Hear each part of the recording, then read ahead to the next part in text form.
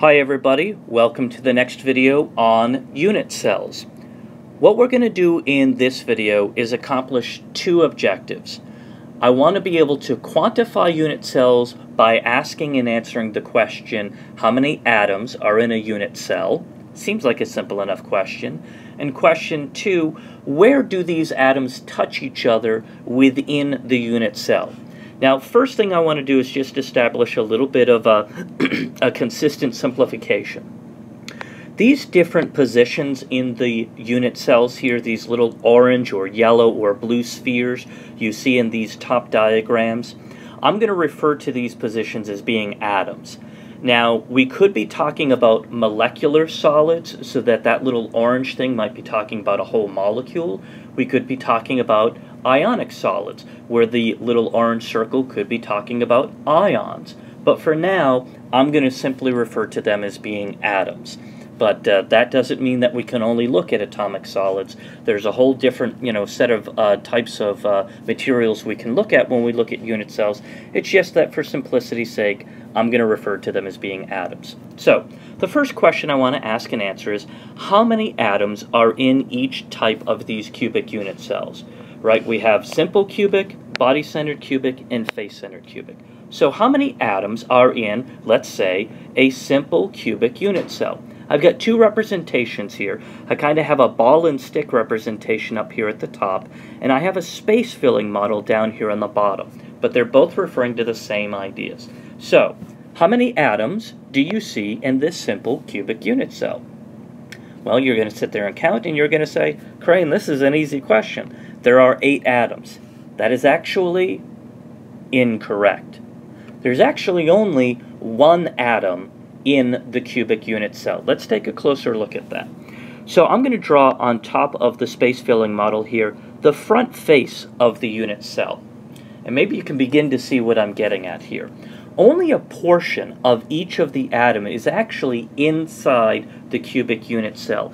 If I were to color it in, only that portion, for example, of that sphere, of that atom, is actually inside the cubic unit cell. So it turns out that we don't have all of the atom inside any one unit cell. We have, in the case of corner atoms like these guys here, we only have one-eighth of the actual atom inside the cubic unit cell. So I have one-eighth of each atom. How many atoms do you see there? Well, you see eight and so it turns out that I have effectively one atom per simple cubic unit cell. All right. Now, next question, and I'm going to clear up a little bit of space here to begin to answer that one. Let me go ahead and clear all that up. Where do the atoms touch in a simple cubic unit cell? Well, you can't really talk about where do things touch by looking up here at the ball and stick diagram because it's an oversimplification. But you can see here in the space filling model that clearly the atoms are touching along the edges. And so if I were to then assume that this edge length here, how long is that edge length in terms of atomic radii? Well, I've got one radius, two radius, so that is two radii long, that edge length.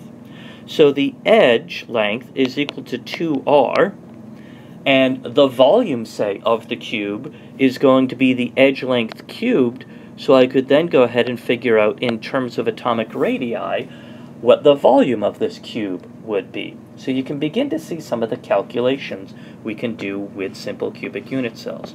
All right, let me get rid of that writing, and now I'm going to shift over and take a closer look at body-centered cubic. So my first question, how many atoms are inside a body-centered cubic unit cell?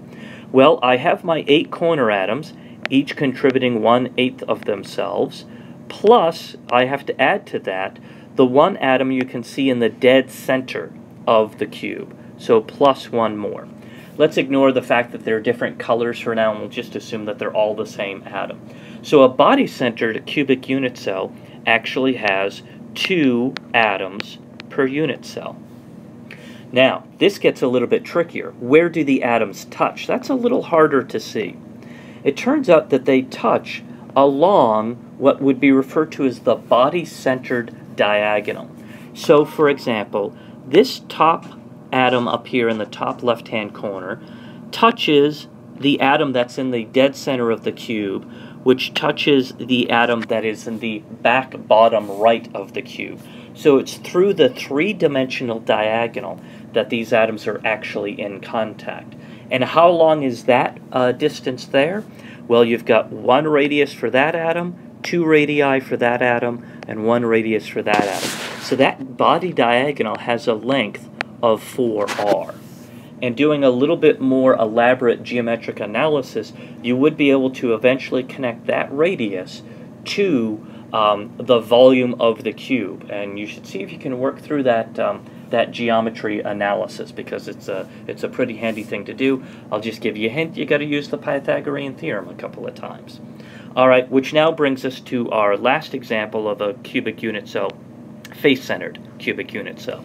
Well, let me ask my first question. How many atoms are in the unit cell? Well, once again, I have eight corner atoms, each contributing one-eighth of themselves, plus now I have a new type of location.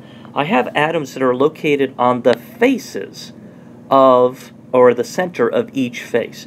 That's what, in the space filling model, that's what the red guys are doing. They are on the dead center of each face.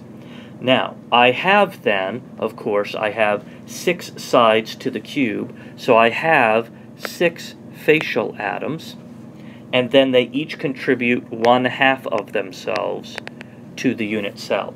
So I then have a total of four atoms per unit cell in the face-centered cubic.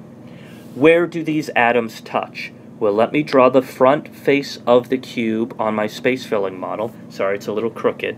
You can see they clearly don't touch along the edge along the edge, right? There's a gap there. So they're not touching there, but, and I'll draw this in black, they are touching along the face diagonal, and that face diagonal has a distance in terms of atomic radii of 4r. So again, you can see how we can start to quantify this guy and eventually go ahead and find the volume.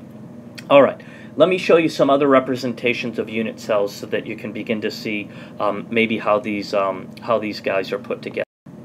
All right, so here's our three different types of uh, cubic unit cells, and this picture kind of carves out the part of each atom that is actually contributing to the unit cell. So over here on the right we have our simple cubic and you can see how only one-eighth of each atom is actually inside the unit cell.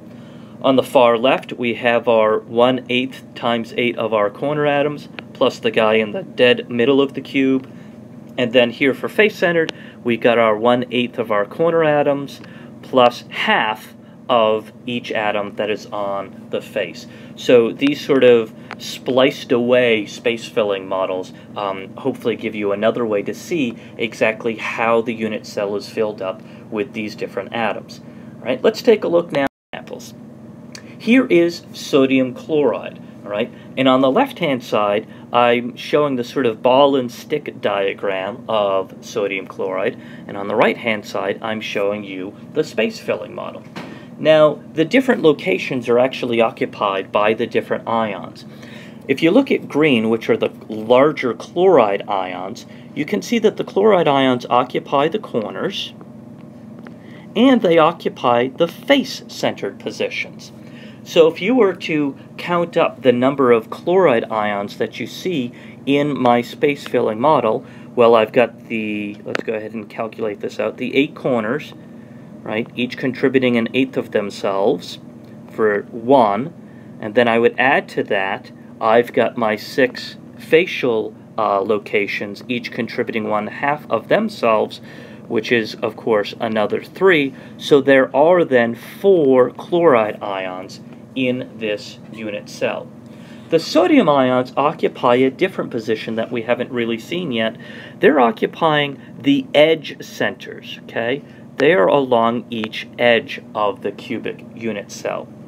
Now, how much of those atoms are actually inside the unit cell? Okay, hopefully you can see that one quarter of the atom is actually inside that unit cell.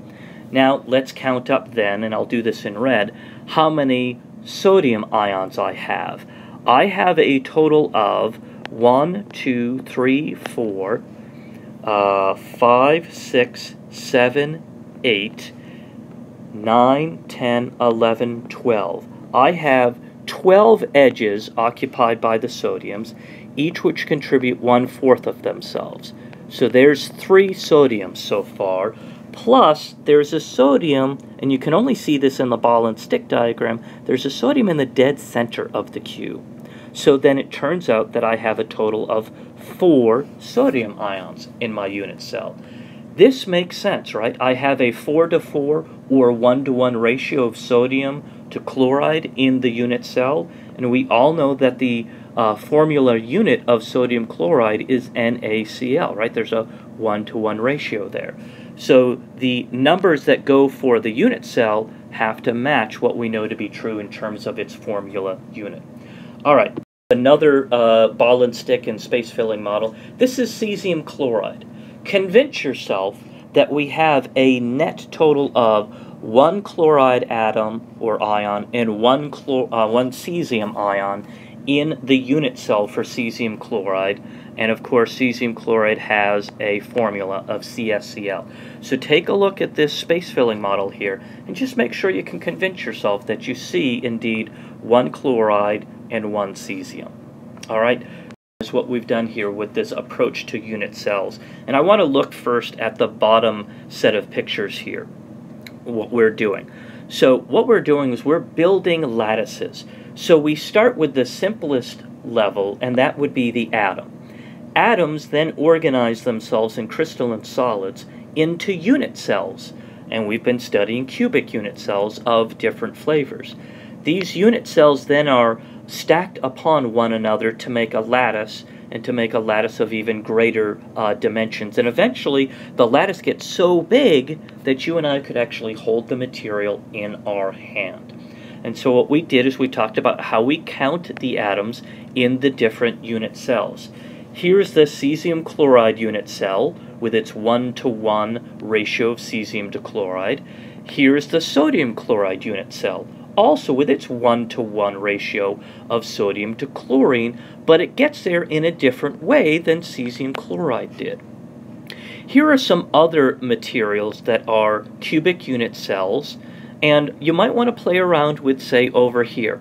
How many yellow to purple atoms would you expect to see in that material? Can you come up with the yellow-purple formula by counting the atoms in the correct way? How about this guy, this gray-green unit cell? Can you come up with a formula for gray to green in that unit cell?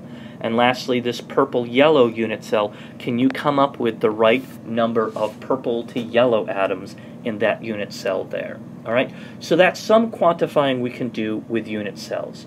In the next video, we're going to take these cubic unit cell structures, and we're actually going to do a, um, a stoichiometric calculation with them um, to show you how we can um, begin to even further quantify the properties of unit cells into the chemical concepts like stoichiometry, like Avogadro's number that we already know about. We'll do that in the next video.